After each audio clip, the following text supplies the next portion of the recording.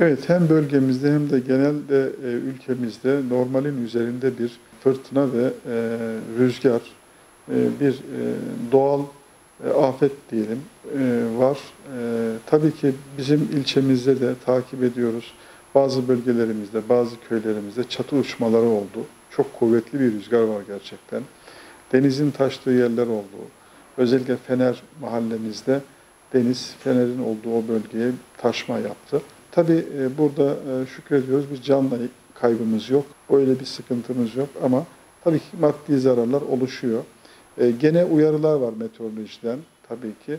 İleride gene böyle sıkıntıların olmaması için, daha az sıkıntı yaşamamız için biz buradan hemşehrilerimizi uyarıyoruz. Özellikle ağaç diplerinde araçlar olmasın, park edilmesin.